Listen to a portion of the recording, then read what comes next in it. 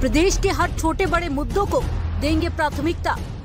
गरीब, पीड़ित, वंचित, शोषितों की उठाएँगे आवाज़। गाँव हो या शहर, हर खबर पर होगी हमारी नज़र। आप देख रहे हैं न्यूज़ राजस्थान 24 हमेशा आपके हित में।